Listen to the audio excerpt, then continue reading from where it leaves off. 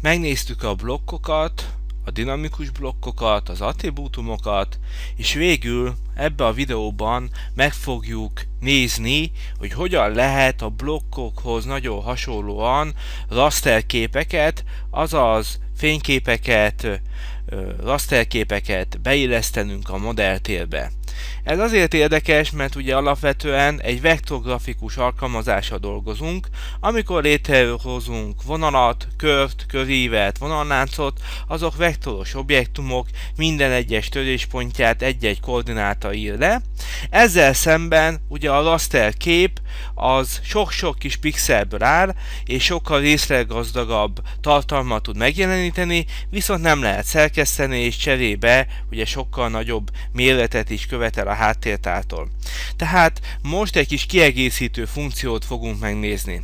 Első lépésként szúrjunk be a modelltérbe egy raster képet. Igazándiból ez a célja ennek a videónak.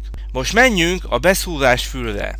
Ezután a referencia panelon válasszuk ki a csatolás ikont, nyomógombot. Itt lehet látni, hogy különféle képfájlt, DVF-et, PDF-et lehet csatolni a fájlunkhoz. Klikkeljünk rá, ezután a referencia fájl kiválasztása történik. Én előre letöltöttem egy blueprint.jpg állományt, egy autónak a vázrajzát tartalmazza ez a rasteres kép, nyissuk meg. Innentől kezdve nagyon hasonló a blokkok beillesztéséhez a rasterkép beszúrása. Ugye megadhatjuk, hogy a beillesztési pont az a képernyőn történjen, ez rendben is van, valamint megadhatnánk a képernyőn a méretalányt és az elforgatást is, de ezt már a blokkoknál átvettük.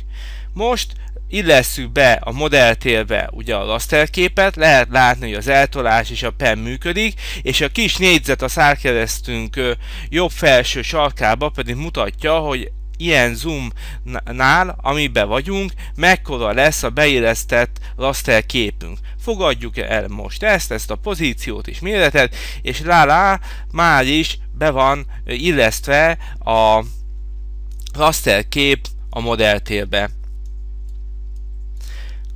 menjünk vissza a kezdőről a és figyeljük meg, hogyha kijelöljük ezt a rasterképet, akkor egy kép helyérzékeny szallagmenü töltődik be, ahol a következő műveleteket tudjuk megtenni.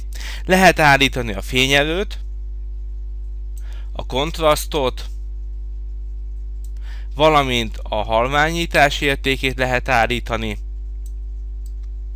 tehát igazándiból azokat a minimális funkciókat itt is el tudjuk írni, mint egy nagyon egyszerű képszerkesztőbe, hogy ne kelljen ezekért a funkciókért kilépnünk ugye az autókedből egy másik program kedvéért, itt még nagyon hasznos ez a kép megjelenítése és kikapcsolása. Ez főleg akkor jó, ha fölül szeretnénk rajzolni ezt a rasterképet, tehát vektorizálni szeretnék a képünket, és néha kíváncsiak vagyunk, hogy hogyan is állunk a munkával, tehát ez egy nagyon hasznos kis funkció. Visszaállítom az alapvető értékeket, és akkor dolgozunk is egy picit ezzel a képpel. Hozzunk létre mondjuk egy új fóriát, kontur legyen a neve, ugye ezen fogjuk digitalizálni a rasterképet, Természetesen a rasterkép is egy fórián van, hiszen ha a nullás fóriát kikapcsolom, akkor eltűnik a rasterkép is, tehát most a nulláson van, ha bekapcsolom visszajön, át is lehet tenni, ki van jelölve, látható a négy fogópont a négy sarkánál, és szépen itt át tudom tenni a kontúr fóriára, és ilyenkor a befoglaló négyzet téglalap így zöld színű lesz, hiszen azon a fórián van a raster. Most elmentem a kontúrfóriára, és elkezdem digitalizálni a rajzot. Hát, nagyon nagy bánatomra az újabb autókedeknél a szárkereszt az már nem invertál, tehát fehérre nem lesz fekete, és fordítva, és így egy fehér raster előtt a szárkereszt teljesen el is tűnik. Tehát amikor ilyen feladatunk van, akkor célszerű átállítani a szárkeresztnek a színét.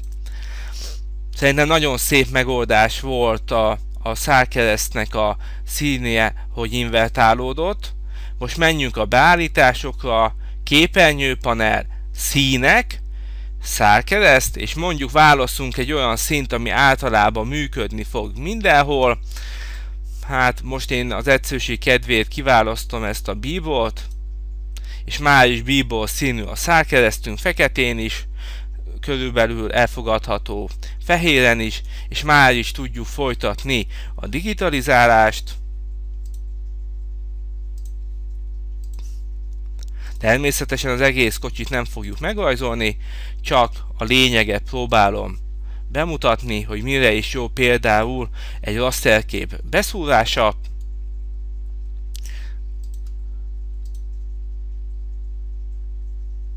Mondjuk még legyen ez a körívünk, és vonallánccal mondjuk innen indulok, érintőbe fogok menni, rendben van, ezt meghúzzuk, F8 ortó, így, mi? Még itt ezt a felét, ezt a másik felét is megrajzolom.